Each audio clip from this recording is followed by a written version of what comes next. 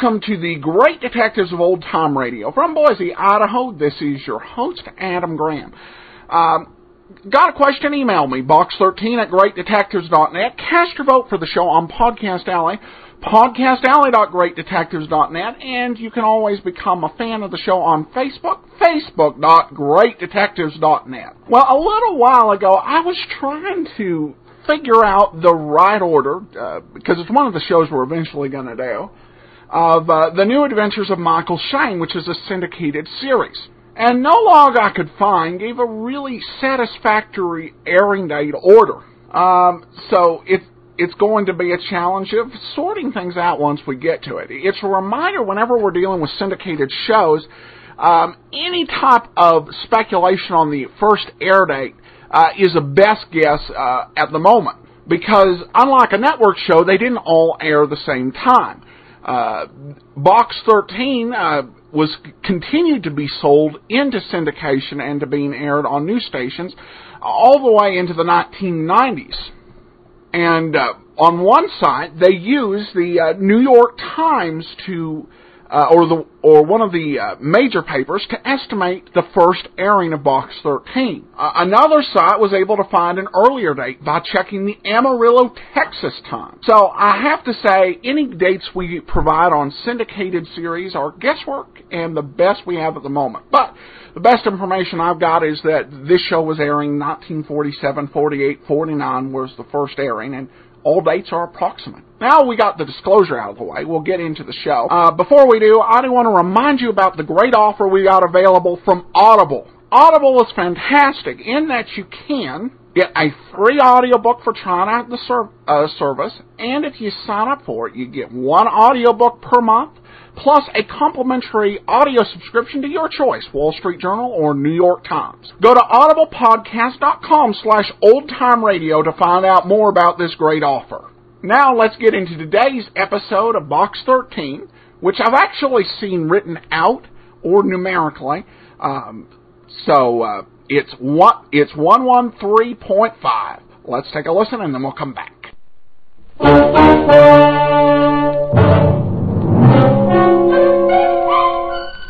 Box 13, with the star of Paramount Pictures, Alan Ladd as Dan Holliday.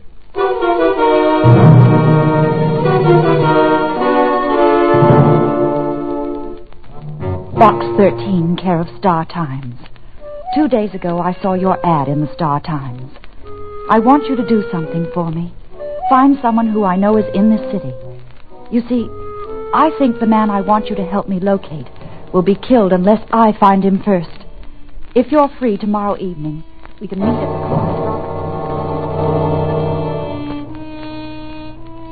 We can meet at the corner of Robertson and 35th at 8 o'clock.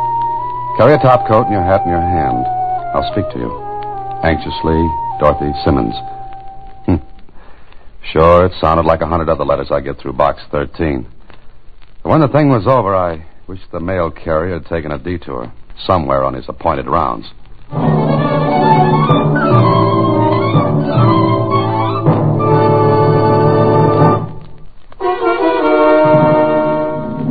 And now back to Box 13 and Dan Holliday's newest adventure, 113.5. Susie. Susie. Hey, Susie. Huh? Oh, hello. Hello. Susie, I've been here for an hour. My name is Holliday. Oh, I'm sorry, Mr. Holliday.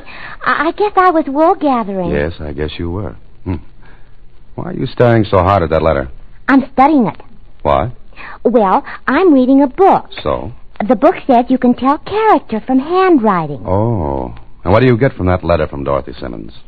Nothing. Yeah, it must be a great book you're reading. Oh, I don't understand it at all, but it's fun. Yeah, I'll come back later when we can clear this up. But I've got a great idea, Susie. What? You forget about the book until I get back. Then I'll tell you all about Dorothy Simmons. At 8 o'clock, I arrived at Robertson and 35th. At 8.3, a young woman, maybe 25 or 6, spoke to me. And at 8.15, we were sitting across from each other in a booth at a coffee shop. She was good looking, smartly dressed, and talked smoothly and well. But underneath that calm exterior, something was happening. I know he's somewhere in this city, Mr. Holliday. I've got to find him before before someone else does. Maybe you'd better tell me who this is we've got to find. My brother. Oh? Well, how do you know he's here? I've traced him this far. Heard from him at all? No. He's running away from something. Or someone. How do you know that? Well, the last time I saw him, three months ago, he was frightened. He wouldn't tell me what was wrong. And then he disappeared. Your letter said he might be killed. He said that. Well, any reason for saying it? No. At least none that he told me. Look, Miss Simmons, the city has a perfectly good missing persons bureau. An efficient setup to help people in your spot. Why, why not go to the police? I can't. All right, you can't. Reason? I. I don't know what my brother's done. Oh, I see. I'm not sure he's done anything wrong, but. Well, he might have, and. And if we find him, What do you mean? well, if he's been a bad boy, it'll be out of my hands. You'd turn him over to the police? Well, of course. You won't help me except under that condition. Well, that's about it. I. All right. I agree. Fair enough. Now, where do we start looking? I don't know. Well, what's his name? Dave. Dave Simmons. Have you got a picture of him? No. Oh, that's great. I can describe him. Well, go ahead. He's about five foot seven. He Dorothy described her brother to me, and as she talked, a man who'd been sitting a couple of booths away got up and came near us. At first, I didn't pay any attention to him. I don't remember Then it struck me as funny that he should be taking such a long time tying his shoelace. Wait a minute. What's the matter? Hold it. Having trouble? Huh? Uh, talking to me? Yeah, I think so. I got a knot in the lace. Convenient place to get it. Huh? Oh, nothing. Are you finished now? What's the idea? I can't stop to tie my shoelace? I have no objections. And what's the beef? None, I guess. What are you? Wise guy? Sorry. Yeah. Wise guy, that's one. Was he listening? If he'd have had his ear any closer, it would have been on my coffee. Did you ever see him before? No. No, I'm sure I haven't. Come on, let's get out of here. Look, he's looking in the window. Maybe he just likes us. He must have heard me describe my brother. Yeah, he couldn't miss. Okay, come on.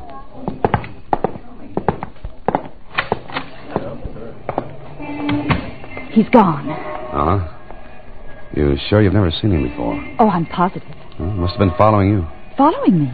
Couldn't have been me because there was no reason for him to tail me. But why should he be after me? I don't know. Yet. Where are you staying? Oh, the the Wilmington Hotel. Mm-hmm. Okay. Cab. Hey, cab. What are you going to do? Put you in a cab and see that you're not followed. Oh, but what about you? Mr. Shoelace doesn't know it, but he gave us a lead. All right, get in. When will I hear from you? Uh, I'll get in touch. Oh, no. I'll get in touch with you. Why shouldn't I call you? Please don't. Just let me call you tomorrow. Okay. Here's my card. Thank you. It's all right. Wilmington Hotel, driver. I waited for a cab to follow the one Dorothy had taken. None did. Mr. Shoelace had dropped out of sight, at least until the next day. It was about 11 in the morning at my apartment when. Come in. Well, hello. Hello. I see you're wearing knotless shoelaces this morning. yeah. Mind if I sit down? No, go right ahead. Thanks. I'll admit this is pleasant, but it can lose its charm. This visit, I mean. Uh, maybe you'd like me to get right to the point, Holliday. There's merit in that suggestion. Uh huh.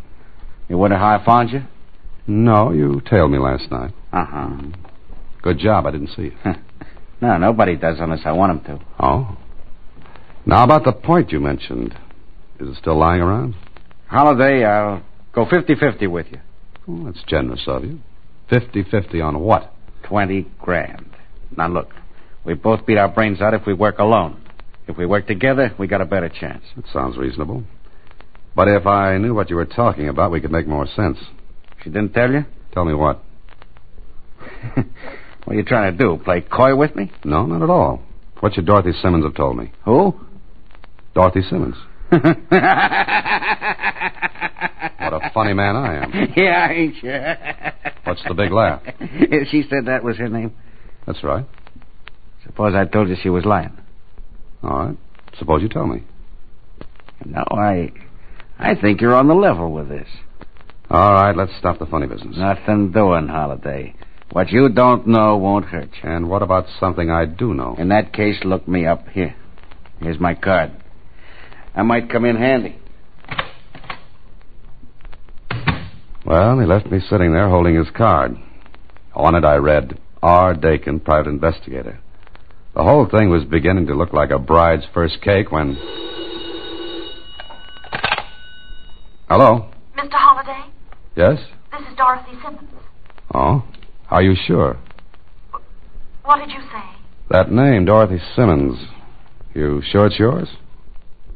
Hello? Hello? I. May I see you? Well, I'd love it. Oh, I had a visitor. Visitor? Who? Our friend last night seems his name is Dakin, a private investigator. Private investigator. Yeah, that's right. Now, does he mean anything to you? Can't we talk about it? I mean, not over the phone. Okay, I'll come to the hotel. No. No, I don't want anyone to know I'm here besides you. That man might follow you. Oh. All right, you name the place. Well, there's a drugstore down the street from the hotel. I'll meet you in there in half an hour. Uh, better make it an hour. All right, an hour. Goodbye. Goodbye. Whatever was going on, it was going in a circle with me riding the edge. But it looked interesting. A girl who said her name was Dorothy Simmons. A man who said her name wasn't Dorothy Simmons. A missing brother and a 50-50 cut in something that would bring $20,000. Yeah. Yeah, it had possibilities. But before I went to meet Miss Simmons, I found out about Dakin from Lieutenant Kling. Dakin was a shady operator. Come within an ace of having his license taken away from him on more than one occasion. But he'd always managed to slip the noose and stay in business. Okay, this looked good. So, an hour later, I was with Dorothy Simmons in the drugstore. I don't know him. I've never even heard the name Dakin before. All right. How about your own name? It isn't Dorothy Simmons. Well, what is it? I can't tell you now. Please don't ask me why. When we find my brother, I'll tell you everything. Meanwhile, I've got a ticket on a merry-go-round, and I, I get dizzy easily. You said you'd help me. Mm-hmm. But I can't fight a mist or hunt for someone in a city. This... Dakin must know something about my brother, or he wouldn't have followed me. He must have thought I'd lead him to Dave. Now, you've got something. Please find out from Dakin what he knows. I don't think Mr. Dakin is the type that dishes out information just like that. Make him tell. Hmm? How? Use thumb screws or the Iron Maiden? I've got to know why he's after my brother. I'd like to know that myself. And why you won't tell me your real name. Oh, there are a lot of things I'd like to know. Let's go to see Dakin. And if he tells us anything, I'll tell you anything you want to know. All right. That's a deal. Come on.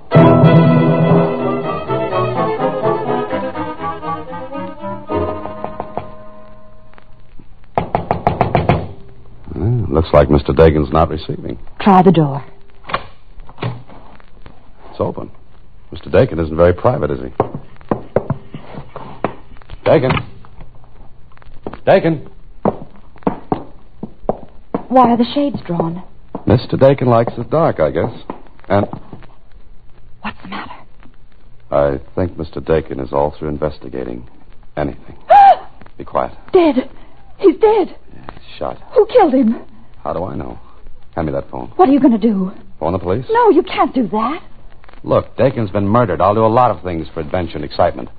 But hiding a murder's not one of them. But my brother, suppose he. I told you twice. If your brother. Please don't call the police. Not yet, please. I said hand me the phone. Come on, look out. Get out of the way. I. All right. Here. Well, that's better.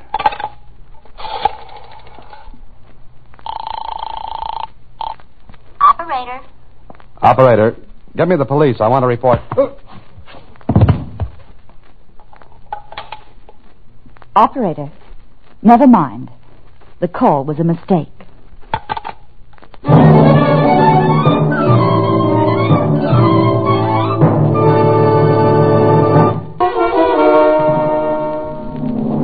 And now, back to Box 13 and Dan Holliday's latest adventure, 113.5. Whatever Dorothy Simmons used to hit me, it was a lot harder than my head, and something had to give way. So I did. When I opened my eyes, Lieutenant Kling was bending over me. Well, It's nice to know you're still with us. Yes, I wake up to the strangest things. Uh huh. Hey, why are you here? The operator reported a call from here. Two minutes later, another tenant passed here and saw this lovely tableau. You always lie down and go to sleep with murdered men. Always?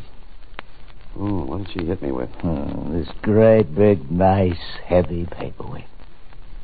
And who's she? Dorothy Simmons. I still ask. Who's she? Well, I told Kling the whole story, beginning to end. And when I'd finished, I realized how silly it sounded. He looked at me and. Your name should be Alice. This is no Wonderland, and. Did your boys turn this place upside down? No. Uh, Sergeant. Yes, sir. Check on Dorothy Simmons at the Wilmington Hotel. You heard her description. Now, Holliday. She hit you and ransacked this room, looking for something. What? You know as much as I do.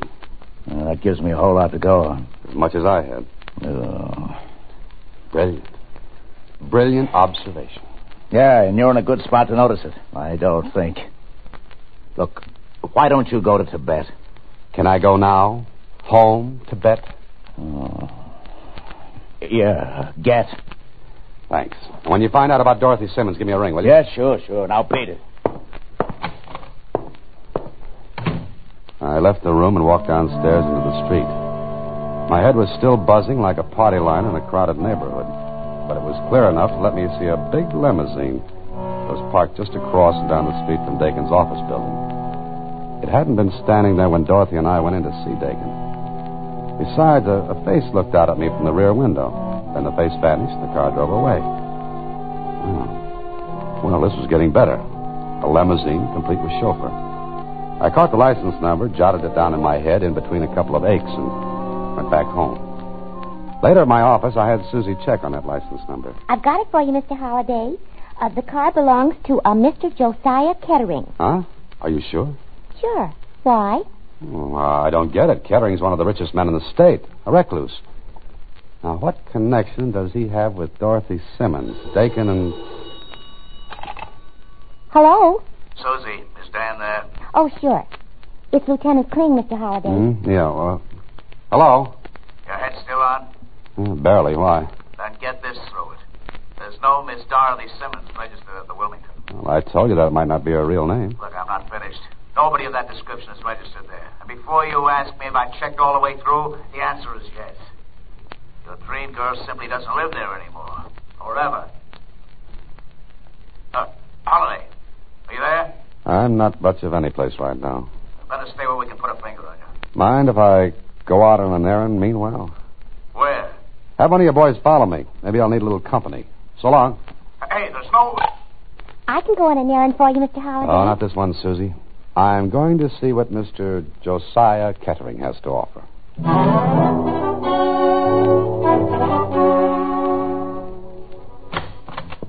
Yes, sir? Is Mr. Kettering in? Do you have an appointment, sir? Uh, yes, tell him I've come from Mr. Dakin. If you'll wait in the foyer, sir, I'll give Mr. Kettering your message. The butler disappeared down the hall, went into a room, and a few seconds later. Uh, this way, if you please, sir. Oh, thank you. That will be all, Carl. Very good, sir. And close the door. Well, you sit down. Thank you. You, you said something about a Mr. Dakin. Yes, you know him. What do you want? Well, did you know Dakin was murdered? Uh, Mr. Dakin was the type of person who invariably ends up that way. Some people do, you know. And some people do the killing. That achieves a nice balance. But that's neither here nor there. What have you come to tell me? Nothing. I. What are you looking at? Books. Quite a collection you've got in here. Yes. Do you know books? Rare ones? I don't have the money necessary to enjoy them as much as you do. Meaning what, sir? Nothing. Hey, You, you said you came from Mr. Dakin. Ha- Have you anything to tell me? I didn't answer the old man who sat there leaning forward, watching me like a bright but aged robin. I could swear he thought I had something. Something he wanted. I decided to play along, stall for what I could learn. His hands, yellow and thin, trembled, and then. Well, answer me, man, answer me. Have you got it? Did you get it back? No. Don't, idiot, you incompetent fools. I paid you to get it back. I paid you. Now I want it. Bring it back to me, do you hear? Bring it back. Well, I don't know where it is. Then why did you come here? Because Dakin was killed. I don't care about Dakin or anything else, but my book is gone, stolen. Look, I kept its place open. Bring it back to me, please. Get it back to me. The old man walked to a bookcase. He ran his hands over the row of volumes. came here for. Then his fingers stopped at a vacant spot. What do you Turned want? back to me. More money? I'll give it to you in cash. Now, just a minute. Maybe you had better tell me the name of the book again. I. You know. Dakin knew. Uh, Dante First Folio. Now, please, please get it back Well, why for me. you go to the police? Eh? Police? Why did you say that? You're not one of Dakin's men. You're not, are you? No. You're all against me. Everyone's against me. Everyone wants my collection. Get out, get out, get out! Who stole that book from you? They stole it from me. They knew I couldn't go to the police. They knew. But I, I fooled them, didn't I? I hired Dakin and. But you're not Dakin. You're the police. You won't let me have it back. You won't let Carl, me have it Carl. back. I tell you. I want that book back. Better take care of him, Carl. No. Quiet, sir. He'll be all right, sir. What do you know about this, Carl? Uh, nothing, sir. Who stole that book from Mr. Kettering? There, there was no book stolen, sir. There was. A book Kettering couldn't let the police know about because it was in his possession illegally. Is that right? Uh, sir, these books are all he has. Yes, I know. And how many of them are stolen from other collections? Just the Dante First Folio, sir. hmm The only one he couldn't go to the police about, so you hired Dakin to trace it. Uh, please, sir. This this won't mean prison for him, will it? It, it mustn't, sir. I don't know. Now, look, Carl. Who stole it? Well, there was a couple here, Mr. Kettering's secretary. Girl? Uh, yes, sir. What did she look like? Well, She she was about twenty-five or six, rather pretty. Knew a great deal about books, sir. Uh, Mr. Kettering had placed an ad for someone to do cataloging. She answered. And she saw the Dante First Folio. She must have at one time or another. Uh, Mr. Kettering kept this room locked, but uh, Well, of that's course. enough. You said a couple. Was the other one a man? Yes, a chauffeur. Uh, he and the girl were friendly. Mm-hmm. Okay, you'd better take care of Mr. Kettering. you won't go to the police, sir. It it would kill him. I can't answer that. Just take care of him. I've got something else to do.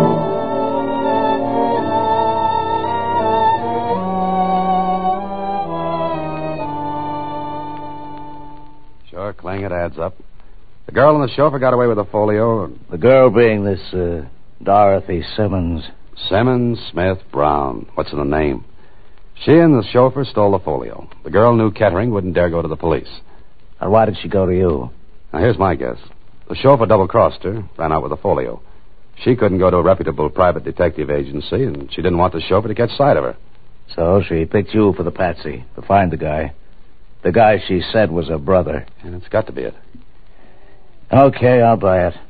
But what about Dakin? Either she or the chauffeur killed Dakin. The chauffeur because Dakin was on to him, or the girl because she didn't want to be trailed. Ah, that makes sense. And Dakin was going to cross up the whole thing. Grab the folio for himself because he knew nobody could go to the police. A nice merry-go-round with a double cross for a brass ring, and no free rides. Okay, that's the setup. But where does it leave us? Find the girl or the chauffeur. Okay.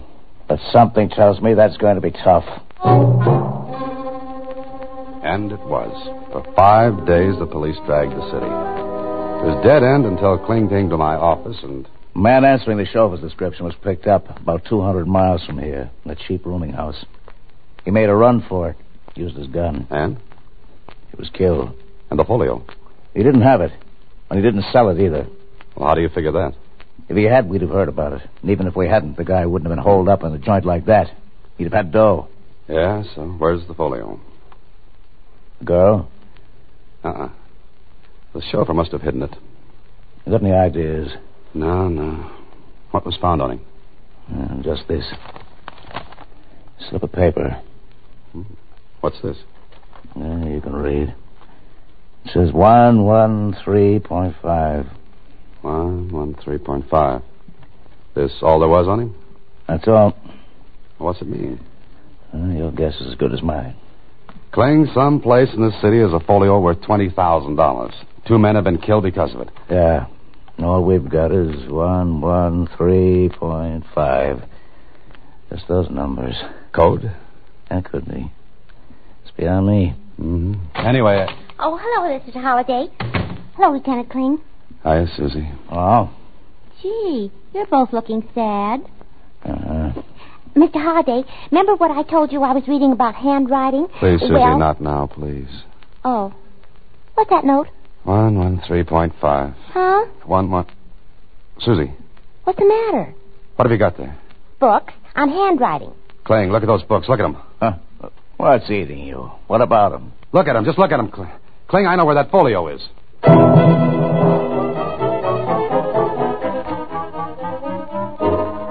I was sure I was right, but I wanted to go it alone. Kling wanted both the folio and the girl, so I had to be alone just in case. And my destination? the public library. What better place to hide a book than there? I climbed the iron stairs to the stacks that towered over the main reading room. I read the index numbers on them 111, 112, 113, decimal point. I reached out my hand for a little volume that stood between books that probably hadn't been taken out since the library was built. Thank you, Mr. Holliday. Oh, Miss Simmons, I believe. I hoped you'd lead me to it. May I have it? Good hiding place, isn't it? Way up here in the stacks, hidden between books that nobody had asked for. But let's talk about you, Miss Simmons. Hmm, you've changed. Hair a different color, dressed shabbily, dark glasses. No wonder you couldn't be found. I'll take that folio, please. I guess you would. After all, you killed Dakin to keep him from finding the chauffeur. That's right. And I'll kill again. I'll kill again and again to get something that will mean the end of watching other people enjoy life. Hand it to me. Miss Simmons, if you shoot, wouldn't the shot be heard? Wouldn't you have to explain? Give it to me. You have great patience. You followed me probably every day. Now, a little more patience won't hurt. Stay away. Don't come any closer. You want this, don't you? Give it to me.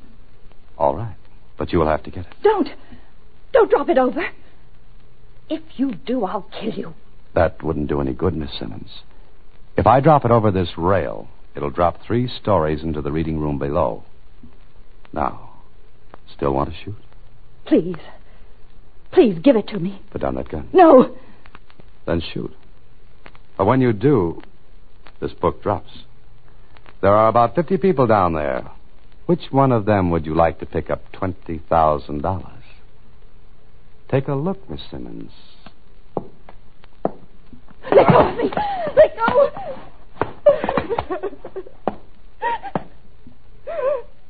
Come on, Miss Simmons. And you'd better walk ahead of me. Somehow I wouldn't want you at my back on those steep, narrow stairs.